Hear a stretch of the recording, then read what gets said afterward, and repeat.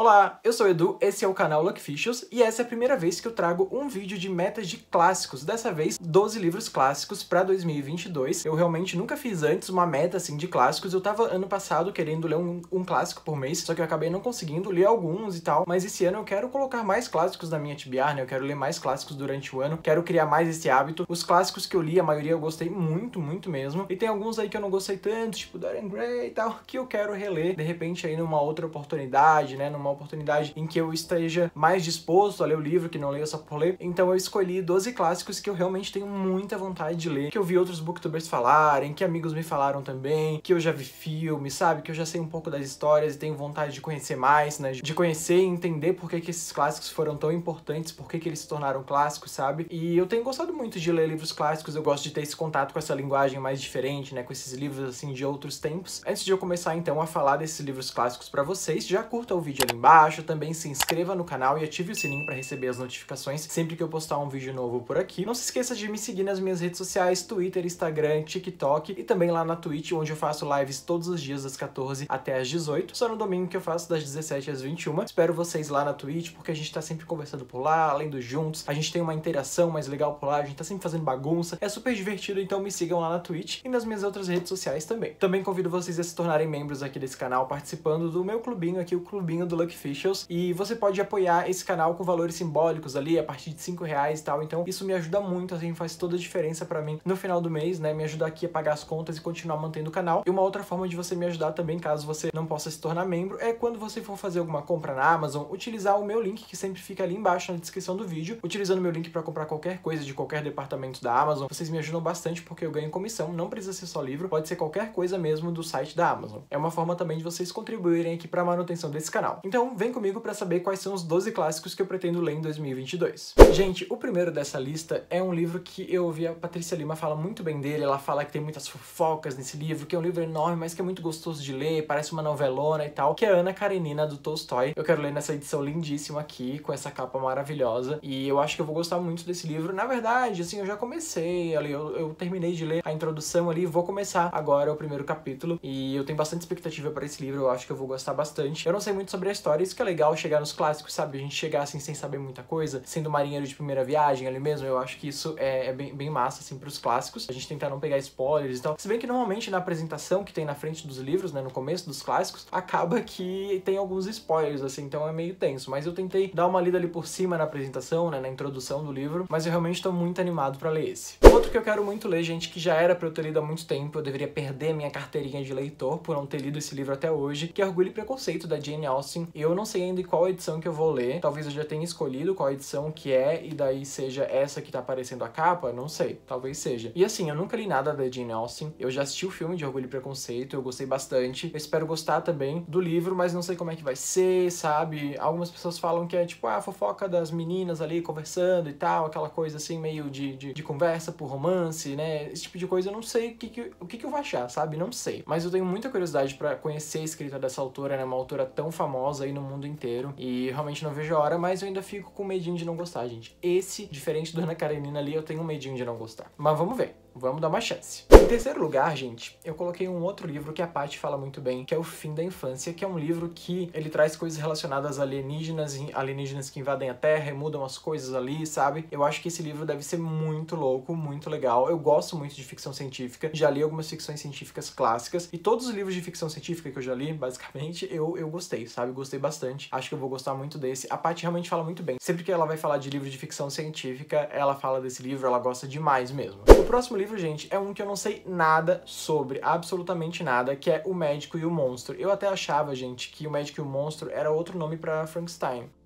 Mas assim, eu realmente não sei o que esperar desse livro, não sei em que edição eu vou ler ainda. Eu realmente não quis ler a sinopse, não quis saber mais do livro, só vim aí com esta surpresa, sabe? Vou ler, não sei quando, não sei qual edição, e é isso. O quinto livro da minha listinha é Fahrenheit 451, que inclusive é um clássico que tem filme aí. A única coisa que eu sei, né, é que os livros foram proibidos nesse livro e que os bombeiros, eles queimam os livros e tal, e eu acho que deve ser uma coisa muito louca, muito pesada, sabe? Deve trabalhar muito questão de censura, assim como trabalhava no 1984, a questão de censura por livros, por notícias e tudo mais. Eu acho que deve ser trabalhado isso aqui. Tenho muita curiosidade de ler esse livro. Também não sei qual edição que eu vou ler, talvez eu leia a edição que tinha no Kindle Unlimited, não sei se ainda tem. E eu tô muito animado para esse livro. Eu acho que eu posso gostar dele. Eu quero muito ver o filme depois. Gosto muito do ator do filme também. Acho que vai ser massa. Vocês já leram Fahrenheit 451? Vocês gostam? Eu sei que ele divide um pouco de opiniões aí. A Tati, Tati Durães, minha amiga, ela não gostou muito, não gostou muito do final, assim, de umas justificativas que o autor deu. Mas vamos ver o que, que eu vou achar, né? Vamos, vamos de cabeça aberta. Sexto lugar, gente, não podia faltar o meu gênero favorito, que é realismo mágico. Eu quero muito ler, do Gabo, 100 Anos de Solidão. Eu acho que esse livro eu vou ter que estar tá com a cabeça, assim, muito, muito presente nele, sabe? Eu vou ter que realmente me dedicar para essa leitura, ler devagarzinho, porque eu sei que ele é um livro que é difícil, ele é um livro que ele passa ali, literalmente contando história ali de 100 anos, várias pessoas descendentes com nomes parecidos, sabe? Filhos e netos e tal, com nomes iguais, e você tem que ir atrás, assim, para tentar entender de quem que tá falando e tudo mais. Eu acho que deve ser uma leitura difícil, mas eu realmente tenho muita vontade de ler, né? O Gabo foi como um pai aí para o realismo mágico, sabe? E como é meu gênero favorito, sério, um clássico de realismo mágico, eu preciso ler. Eu não posso deixar de ler esse livro, né, gente? Outro livro que eu quero ler, gente, é As Cavernas de Aço. Eu quero ler nessa edição lindíssima da Aleph. E eu não sei muito sobre o que é, sei que é ficção científica, sabe? É um clássico de ficção científica. Vocês já viram que tem mais de um aqui de ficção científica, né? Gosto desse gênero. Então, assim, eu vou matar aí dois coelhos com uma cajadada só, mas não matem coelho, gente. Deixem os bichinhos viverem. Cruelty free. E esse ano eu quero, então, ler mais livros de ficção científica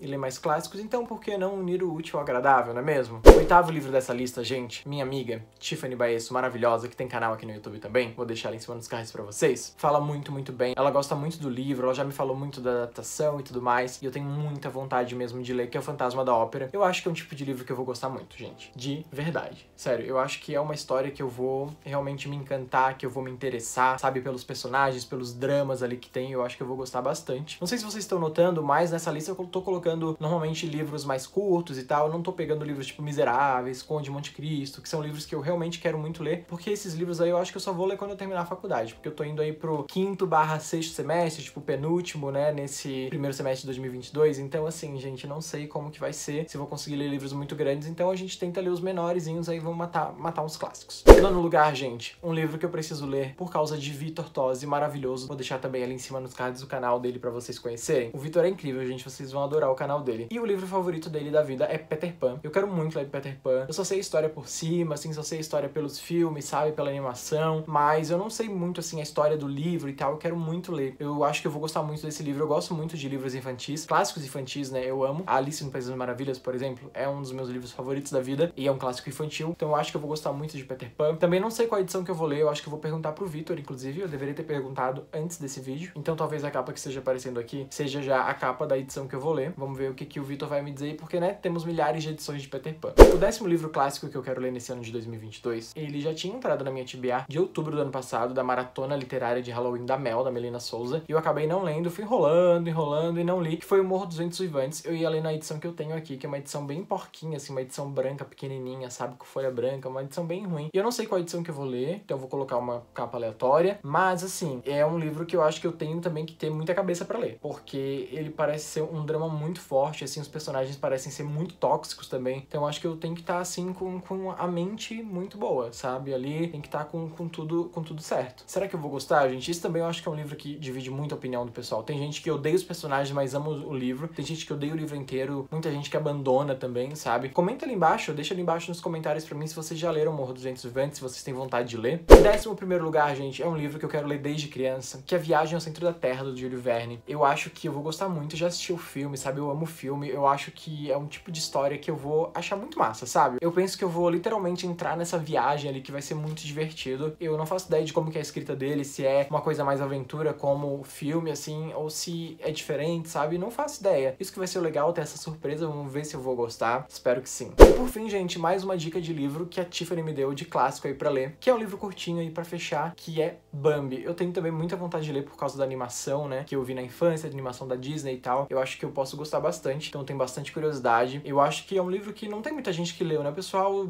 ouve falar bastante da história do Bambi, assistiu muito também a animação, assim como eu, mas eu não conheço muitas pessoas que leram, sabe? Se vocês já leram também, deixa ali embaixo, me conta o que vocês acharam. E de forma geral, desses 12 livros aí, o que vocês acham, gente, dessas minhas escolhas, essas 12 escolhas de livros clássicos para 2022? Vocês acham que foram boas? Se vocês quiserem ler algum comigo, eu vou sempre avisar nas minhas redes sociais qual que eu vou ler no mês e tal, qual desses clássicos, então me sigam nas minhas redes sociais, Twitter, Instagram, TikTok e Twitch. Vou sempre avisar vocês por lá, então me sigam e fiquem ligados. Mais uma vez, lembro, se não deu gostei ainda no vídeo, clique em gostei ali embaixo, se inscreva no canal e ative o sininho para receber a notificação dos próximos vídeos. Também faça parte aqui do nosso clubinho de membros, né, o Clubinho Luck Officials. Seu apoio vai me ajudar muito, fazer toda a diferença para mim manter esse canal. E também você pode comprar pelo meu link da Amazon, que me ajuda demais, está sempre ali embaixo na descrição. Espero que vocês tenham gostado desse vídeo e que a gente se veja no próximo. ciao